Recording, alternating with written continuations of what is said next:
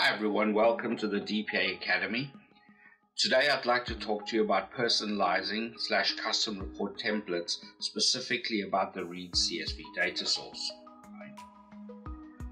So the use case is when would you use this? So this is typically when you want to introduce external data that's not readily accessible within DPA itself, right? You want to read in external flat file data and then be able to merge it into a report to provide additional fields slash data to that report. So first consider the advantages and the disadvantages, right? The advantages is you have the ability to ex introduce external data to the report and it's reasonably quick and easy to use, right? It's a plain CSV file. However, consider that there are a handful of disadvantages. For example, it is inefficient it is not good with large CSV files because the entire file needs to be read into memory before it can be processed. So typically CSV files larger than 1 meg is not advisable. Okay? It's, there's manual maintenance and ge on generation of the CSV files, so you have to manually maintain them, manually update them, update the CSV files. It can lead to a lot of manual work.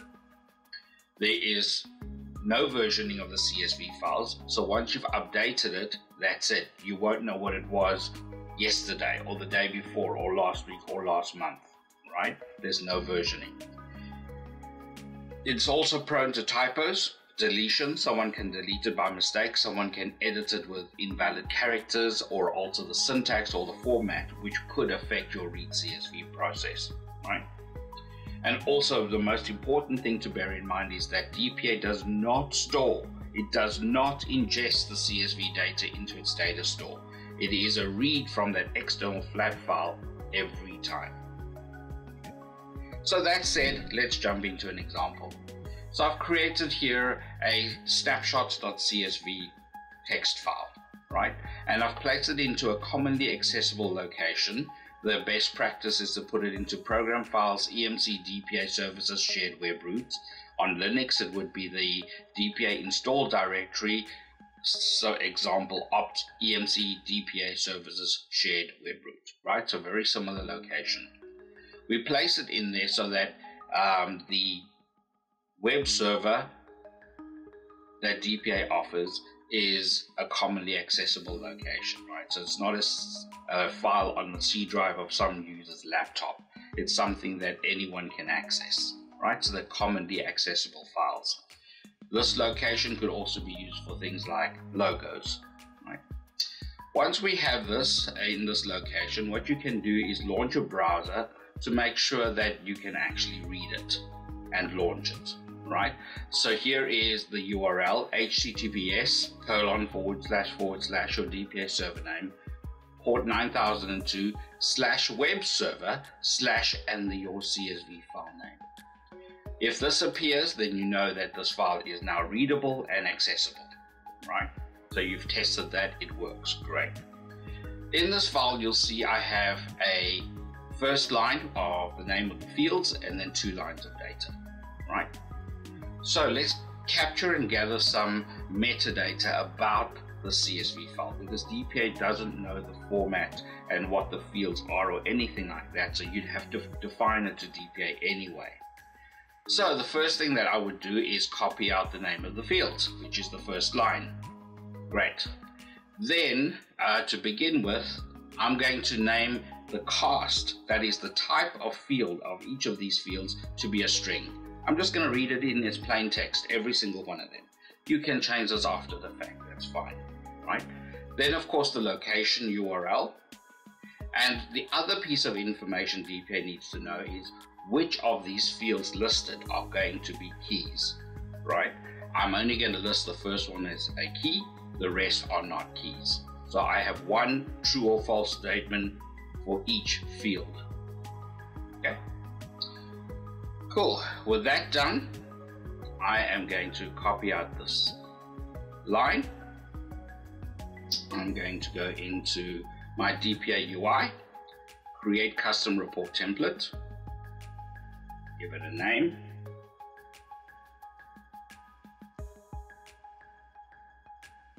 Okay. I'm going to add data source. Let's search for it. And go straight there, right?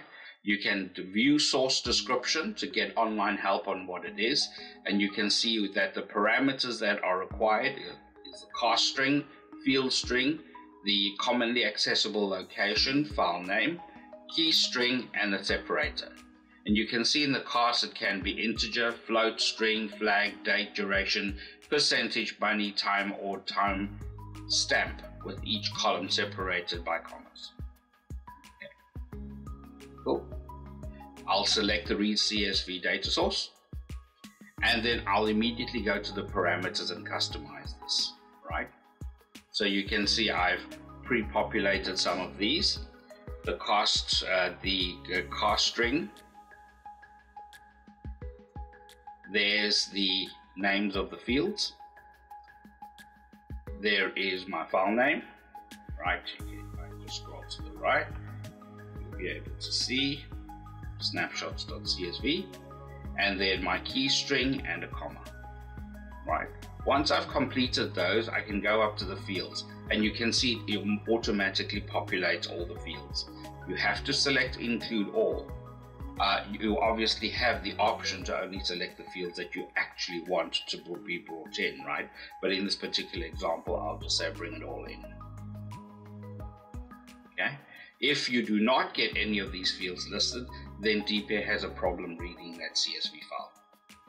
So then you need to go back a couple of steps and make sure that it's readable. The next step is to connect this into the end of the report. Remember the template is flowchart based. There we go. I just dragged and dropped it on to make the connection. And then I'll hit preview. Um, because DPA always needs an object to run on, even though in this particular case it doesn't really matter what object you select, and I will preview it immediately. And then there you can see it's read in the job ID and the two rows, all this information going right across the right. right. And let's, for it to take this one step uh, further, let's say I don't want that first line because it's not actual data, it's just a list of fields, right? How do we take that out? So if you look at read CSV, I've only got the option to do fields and I've only got the option to do parameters and nothing more. So what we will do here is we will detach it from the end of the report because we want to add something in between. And I'm going to add in an operator named dummy, as in it does nothing. However, what it will do is allow you to place a condition, right? So let's join those two together, join those two together, and at dummy, you'll see that you have a condition parameter here. And what you could do here is say the job ID does not begin with the word job, right? Your job IDs aren't going to actually begin with the word job. So you can use that as a filtering criteria to take it out. So if we go back to our preview and let's do a refresh.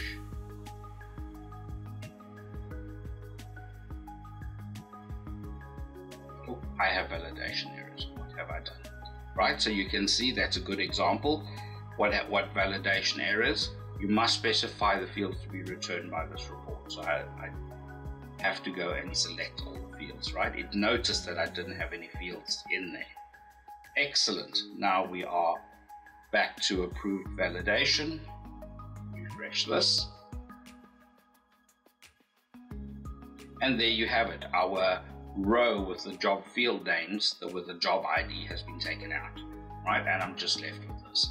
From this point on, you can tweak it, you can enhance it, and then in the design, you can add other data sources, merge with it, remembering that I've specified that the job ID is a key, right? It's not very visible here, but if you look closely, the job ID is highlighted in bold and it's ticked as a key field. Right? So that's how you identify the key Cool. That is it in a nutshell. Take care. Cheers.